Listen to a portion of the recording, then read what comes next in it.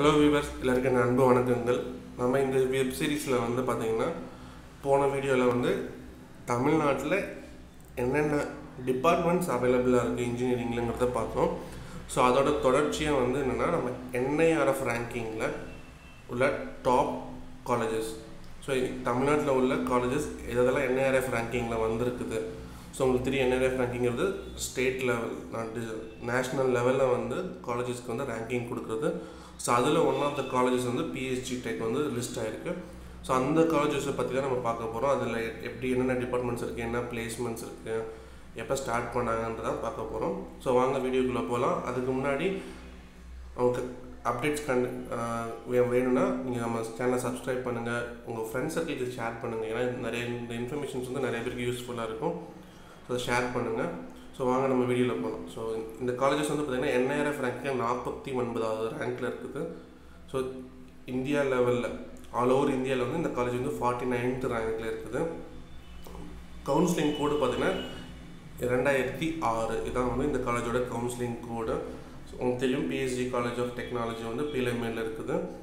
இது வந்து நேக் கிரேட் ஏ வாங்கியிருக்கிறாங்க. இது ரெண்டாயிரத்தி இருபத்தி நாலு வரலும் வந்து அதனுடைய சர்டிஃபிகேஷன்ஸோட வேலிடிட்டி இருக்குது. So NAAC grade A Anna யூனிவர்சிட்டியோட affiliated colleges இது.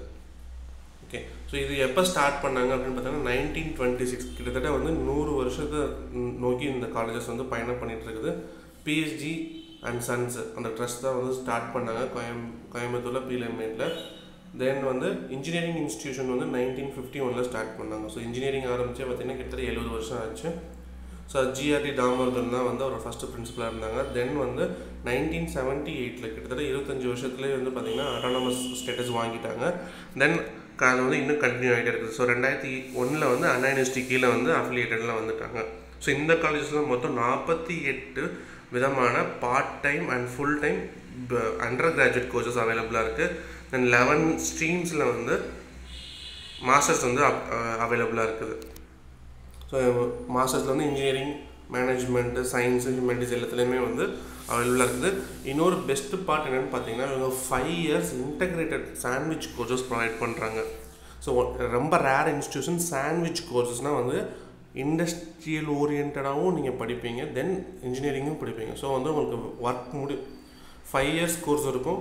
ஸோ நீங்கள் படித்து முடிச்சு வரும்போதே உங்களுக்கு த்ரீ இயர்ஸ் வந்து ஒர்க் எக்ஸ்பீரியன்ஸ் சர்டிஃபிகேட்ஸ் வந்து ப்ரொவைட் பண்ணுவாங்க. த்ரீ டு டூ இயர்ஸ் உங்களோட பேஸ் வந்து பெர்ஃபார்மன்ஸ் பொறுத்து three to two years work experience சர்டிஃபிகேட்டோட நீங்கள் வெளியே வருவீங்க.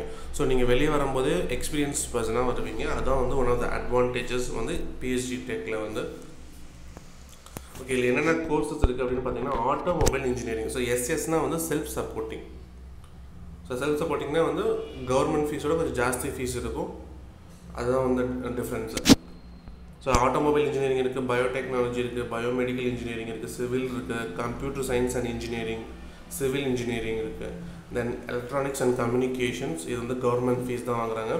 Electrical and communication electronics and electrical electrical and electronic sandwich courses so sandwich கோர்சஸ்னால் தெரியும். உங்களுக்கு இண்டஸ்ட்ரியல் ஓரியன்டாக ஸோ ஃபைவ் இயர்ஸ் கோர்சஸ் அது.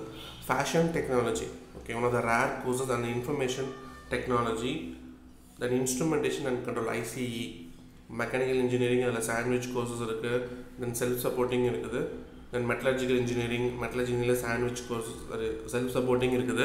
ப்ரொடக்ஷன் இன்ஜினியரிங் இருக்குது. ப்ரொடக்ஷன் இன்ஜினியரிங்கில் சாண்ட்விச் கோர்சஸ் இருக்குது செல்ஃப் சப்போர்ட்டிங்கும் இருக்குது. Robotics and automations okay and textile technology both government எய்டடும் self சப்போர்ட்டிங்கும் இருக்குது. ஸோ இதில் முக்கியமான நீங்கள் நோட் பண்ண விஷயம் பார்த்தீங்கன்னா டெக்ஸ்டைல் டெக்னாலஜி ஏன்னா வந்து கோயம்புத்தூரில் இருக்கிறாங்க. ஸோ வந்து பக்கத்தில் திருப்பூர்.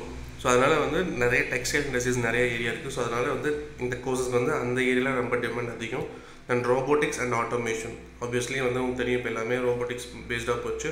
ஸோ இது one of the rare courses இந்த காலேஜஸில் அவைலபிளாக இருக்குது தென் அதுக்கடுத்து அதுக்கு முன்னாடி பார்த்திங்கன்னா வந்து fashion technology so one of the institution வந்து இன்ஜினியரிங்கில் ஃபேஷன் டெக்னாலஜி சொல்லி தர்றாங்க. ஓகே நீங்கள் பிஎஸ்சி ஃபேஷன் டெக்னாலஜி பார்த்துருப்பீங்க பட் இதில் ஒன் ஆஃப் த காலேஜஸ் பியா இன்ஜினியரிங்கில் ஃபேஷன் டெக்னாலஜி சொல்லி தராங்க. Biomedical engineering. அதுவும் இப்போ எமர்ஜிங் ஃபீல்டு லைக் இப்போ உங்களுக்கு இந்த வேக்சினேஷனாக இருக்கட்டும் டயக்னைசிங் நிறைய வந்து biomedical engineering so engineering plus biology medical ஃபீல்டில் வந்து யூஸ் பண்ணுறது நிறைய வாண்டடாக இருக்குது. ஓகே சார் இதில் பிளேஸ்மெண்ட் என்னென்னு பார்க்கலாம். ஸோ பிளேஸ்மெண்ட் கிட்ட பார்த்தீங்கன்னா கிட்ட close to eighty to ninety percentage வந்து சாலிடாக பிளேஸ்மெண்ட்ஸ் வந்து வர்றாங்க. ஸோ ரெண்டாயிரத்தி பதினாறுல பதினேழில் வந்து பார்த்திங்கன்னா ஆயிரத்தி நூற்றி அறுபத்தி ஒன்பது பேர் பிளேஸ்மெண்ட்ஸ்க்கு வந்து எலிஜிபிள் கேண்டிடேட்ஸ் அதில் எண்ணூற்றி எண்பத்தி நாலு பேர் ப்ளேஸ் ஆகிட்டாங்க மீடியன் சார்னா நீங்கள் எல்லாரோட சம்பளத்தையும் வரிசையாக அடிக்கிட்டு நடுவில் என்ன செலவு இருக்கணும் ஆவரேஜ் கிடையாது நடுவில் எவ்வளோன்னு பார்த்தீங்கன்னா மூணு லட்சத்தி அறுபதாயிரம் வந்து அவங்களோட பேக்கேஜாக இருந்திருக்கு. நம்பர் ஆஃப் ஸ்டூடெண்ட்ஸ் ஹையர் ஸ்டடீஸ்க்கு வந்து நாற்பத்தெட்டு பேர் போயிருந்திருக்காங்க. அதுவே பதினேழு பதினெட்டில் பார்த்தீங்கன்னா ஆயிரத்தி நூற்றி எண்பத்தி ரெண்டு பேர் வந்து படித்த எலிஜிபிள் ஃபார் பிளேஸ்மெண்ட்ஸ் அதில் எழுநூற்றி ஒன்பது பேர் வந்து பிளேஸ் ஆகியிருக்காங்க அவங்களோட மீடியன் சேலரி வந்து three point six five lakhs எண்பத்தி ரெண்டு பேர் வந்து ஹையர் ஸ்டடீஸ் போயிருந்திருக்காங்க. ரெண்டாயிரத்தி பதினெட்டு பத்தொம்போதில் பார்த்தீங்கன்னா ஆயிரத்தி நூற்றி எண்பத்தி ஒரு பேர் வந்து எலிஜிபிள் கேண்டிடேட்ஸ் ஃபார் பிளேஸ்மெண்ட்டு அதில் அறுநூற்றி ஐம்பத்தி மூணு பேர் பிளேஸ் ஆகியிருந்திருக்காங்க அப்போ சாரி பார்த்தீங்கன்னா நாலு லட்சம். இன்க்ரீஸ் ஆகிடுது தென் ஹையர் ஸ்டடீஸ்க்கு வந்து நூற்றி இருபத்தஞ்சு பேர் போயிருந்திருக்காங்க. ஸோ ரெண்டாயிரத்தி பத்தொன்பது இருபது இருபது இருபத்தொன்று வந்து இன்னும் நமக்கு டேட்டாஸ் வந்து காலேஜஸ்லேருந்து நம்ம வெயிட் பண்ணிகிட்ருக்குறோம் ஸோ க்ளோஸ் டு பார்த்தீங்கன்னா வந்து six eighty to ninety percentage வந்து பிளேஸ்மெண்ட்ஸ் கண்டிப்பாக இருக்குது. அப்படி இல்லைன்னா கூட ஹையர் ஸ்டடீஸோட வாய்ப்பு நிறையாவே இருக்குது. ஸோ இதான் வந்து பிஹெச்டி டெக்கோட வந்து uh, ரிவ்யூ ஸோ இந்த காலேஜஸில் வந்து என்னென்னா நீங்கள் மெயினாக நோட் பண்ண வேண்டியது சாண்ட்விச் கோர்ஸ் அவைலபிளாக இருக்குது. தென் ரேங்கிங் என்ன? ரேங்கிங் ஃபார்ட்டி நைன்த்து பொசிஷனில் இருக்குது. ஸோ நீங்கள் கோயம்புத்தூர் இன்னர் கோயம்புத்தூர் நீங்கள் more then one ninety cut off வச்சுருக்கீங்கன்னா PhD டெக்கை நீங்கள் கண்டிப்பாக கன்சிடர் பண்ணலாம்.